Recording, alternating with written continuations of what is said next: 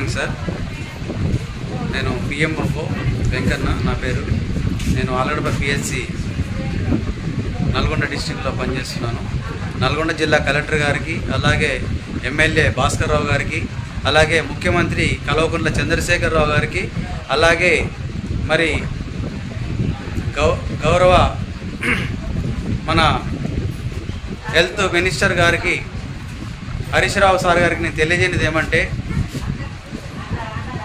రాష్ట్ర ప్రభుత్వం నుంచి కంటి వెలుగు టీంలో ఒక్కొక్క టీంకి పదిహేను వందల రూపాయలు భోజనాలకు ఇస్తున్న టీంలో భోజనాలకు ఇస్తున్నారు. అలాగే మీరు టెంట్ల ఖర్చుకు వాటికి కూడా ఒక వెయ్యి రూపాయలు ఇస్తున్నారని తెలిసింది. ఇరవై వందల రూపాయలు మీ టీంకి ఒక్కటికి ఇస్తున్నామని నల్గొండ డిఎంహెచ్ఓ గారు చెప్తున్నారు.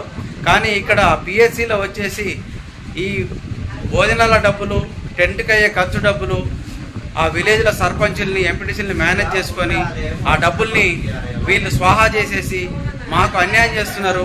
సరైన ఫుడ్ లేదు. సరైన స్నాక్స్ లేవు. మేము మాత్రం ఇక్కడ ఉన్న ప్రజలందరికీ అద్దాలు ఇవ్వడానికి నేను రెడీగా ఉన్నా. అర్థమైందా? సార్ హరీశ్రావు సార్ ఇక్కడ ఉన్న ప్రజలందరికీ నేను అద్దాలు ఇవ్వడానికి రెడీగా ఉన్న నా శాయశక్తుల అందరికీ మీరు పంపిన ఎక్విప్మెంట్కు నేను న్యాయం చేసి అందరికీ అద్దాలు ఇచ్చినట్టు నేను చూస్తున్నాను. ప్రతి ఒక్కరికి నేను అద్దాలు ఇస్తున్నాను.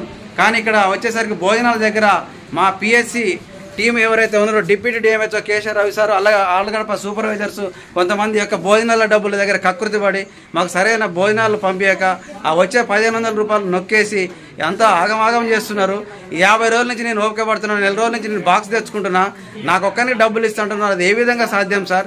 నేను టీం అందరికీ పదిహేను వందల రూపాయలని మేము వండించుకుంటాము.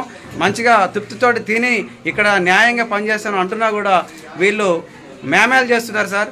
ఈ ఆలగడప పిహెచ్సి మీద ఎమ్మెల్యే గారు హరీష్ రావు గారు కలెక్టర్ గారు దృష్టి పెట్టాల్సిందిగా నేను మనవి చేస్తూ ముగిస్తున్నాను.